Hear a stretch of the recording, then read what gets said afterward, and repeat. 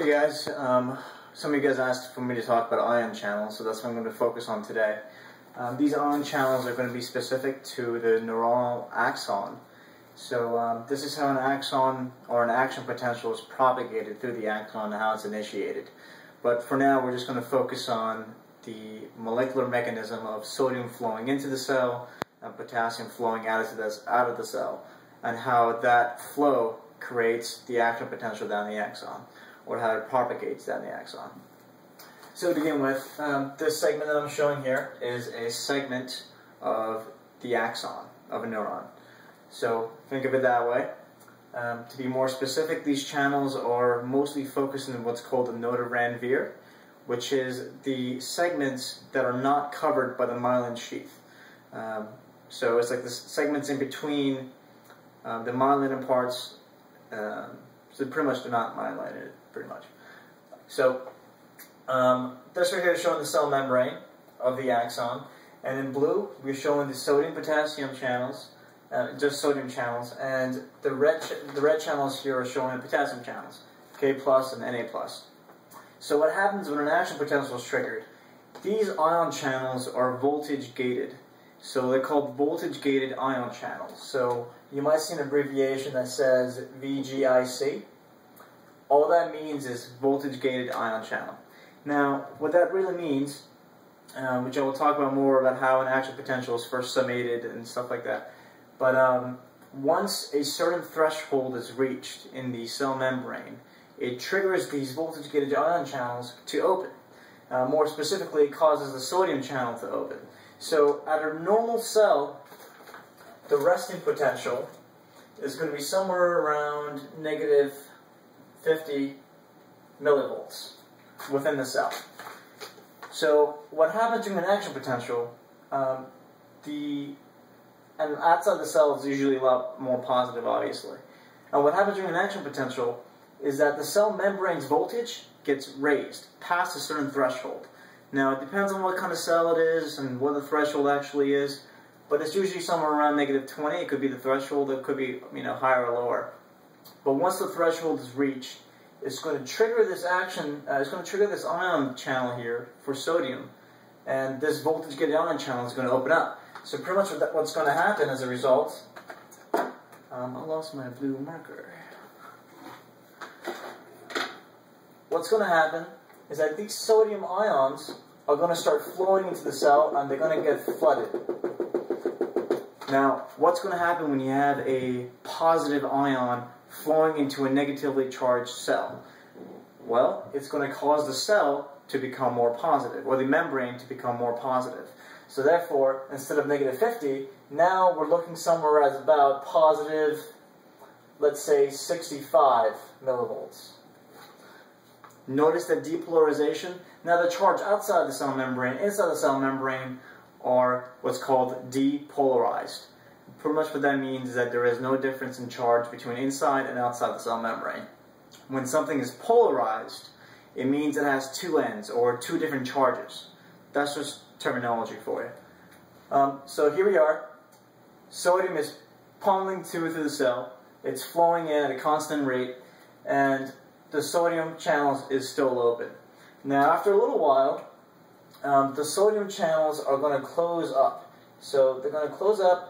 No more sodium is going to come in. Now, what's going to happen next gets very interesting. And then we're going to see um, potassium channels so here we have potassium inside the cell already. And what's going to happen is that this is going to go out. So K plus is flowing out. Now you might be asking yourself, what's going on?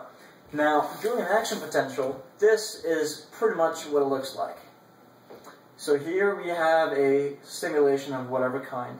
And then we have a rising phase, which is this right here. And then we have a falling phase. And then notice that I'm going below the resting potential here. It's called hyperpolarization, and then I go back to resting. So this is resting potential, RP, and this is resting potential, RP. So here is the rising phase. I'm going to abbreviate it as R um, phase. And this is the falling phase, F phase. And this right here, notice that it's going below the resting potential. this, this right here is called a hyperpolarization. I don't know if you can read that from there or not. But um, this is called hyperpolarization. It's when it overshoots the resting potential until it comes right back again to the resting potential. So, let's focus here on the rising phase. Um, we have a resting potential, and all of a sudden we get a stimulus, it triggers an active potential, the cell's good to go. So what's going to happen, sodium ions are going to start flowing into the cell because these voltage-gated sodium channels are going to open up.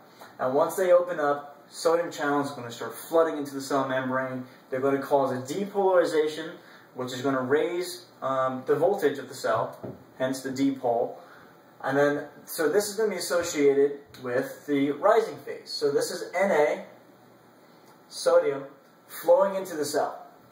And we see we reach the top right here, and then from here on out, this is where the sodium channel is going to close.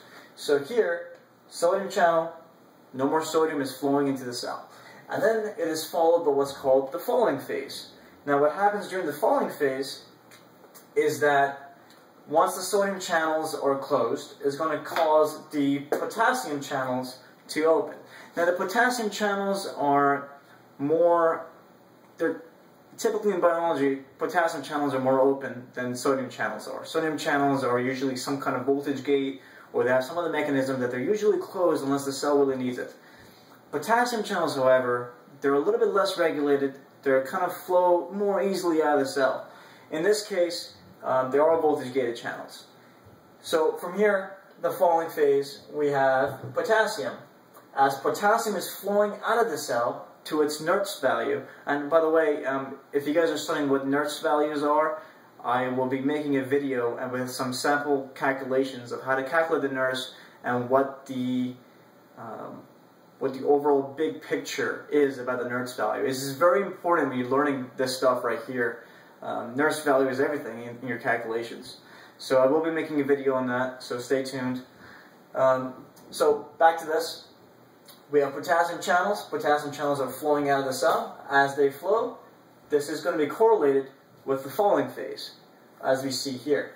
Now what's going to happen, it's going to keep flowing, keep flowing until we have a hyperpolarization.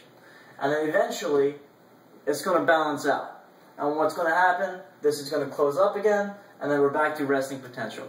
And only at this point, at the resting potential here, can another um, stimulus trigger another action potential. So what happens during, so this entire thing that I'm showing here is occurring at one stimulus. Now what happens is kind of cool with a sodium channel. Once the sodium channel, the voltage-gated ion channel, gets triggered, um, it opens. Sodium comes in, flows in, everything's perfect. And then that's called the active open state. So there are three phases of this ion channel. There is the, so here's the sodium ion channel. We have number one is called the active open state.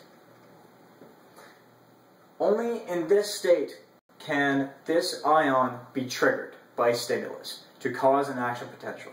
And it's very important why this is. I'll explain that soon. The second conformation of this ion channel is called the um, inactive open state. Pretty much what that means, no more sodium ions are going to be coming into the cell. Um, there's a block, sodium ions are not able to freely come into the cell anymore. And then we have the three, it's called the active closed. Now, it is only during, I'm going to put a star next to this, it's only during this conformation that a stimulus can, can trigger the action potential. And the reason why this is so important is that this is the reason why we have what's called unidirectional flow down the axon to the axon terminal. So I'm going to get rid of this picture here.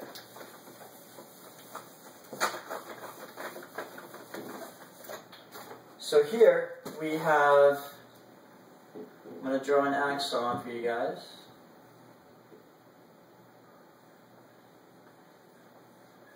terrible looking axon. I mean, neuron.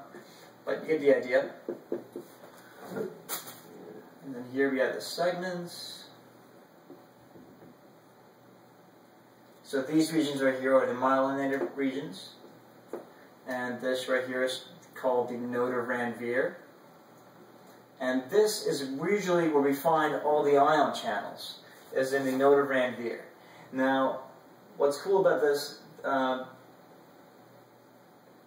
oh, will explain this in a couple minutes. Um, anyways, so we have the sodium ion channels here, we have potassium channels here, along these nodes of Ranvier. Now, what's going to happen during these myelinated areas, it's going to cause faster, or uh, it's going to allow the electrical signal to be more efficient down the terminal. Now, back to this, at the active closed state, once that channel, or in the inactive uh, closed, open state, um, it prevents a stimulus from being from triggering action potential. And as a result, it allows the signal to flow unidirectionally down to the axon terminal. You don't see it doing this. And the reason that is, is that once this, I'll you a different color here, once this sodium channel, once the sodium channel opens up, it's going to flood into the cell, everything's going good, and then we have flow going in. So what happens, this ion is going to be closed. And once that's closed, these sodium ions are going to start flowing that way. And that's going to start another action potential here. And then it's going to start another action potential. And then another action potential. And it's going to keep going until we get to the vesicles um, found in the axon terminal. And I will be talking about the vesicles of the axon terminal as well. And they have different ions that are responsible. They have calcium as opposed to sodium. But that's going to be for another video. So this is the importance of the three different conformations of the sodium um, voltage gated ion channel. The fact that it has an inactive open state where a stimulus cannot trigger an action potential is very significant in that it causes unidirectional flow down to the axon terminal. That, that way, you're not seeing the signal going that way, it's only going this way. And the reason, just to, um, just to, you know, for clarification, is because once this first ion channel opens for sodium, um, it's going to, sodium is going to come in, and then it's going to close. And then no more sodium can come in, but at the same time, so that's the inactive state, at the same time, no stimulus is affecting this sodium channel. Therefore, it's not triggering another action potential. So once this first initiates, it's going to close down. So this one can no longer be stimulated. And then it's going to cause a unidirectional flow down to the axon terminal. And as it flows down the terminal, it's going to cause action potentials each uh, at each node of Ranvier. And it's going to just jump node to node to node until we get to the vesicles. So that is a quick and dirty version of ion channels in neurons. If you have any other questions, feel free to make comments. Um, I will clarify any specifics that you guys have questions on. Um, anyways, hope that helped.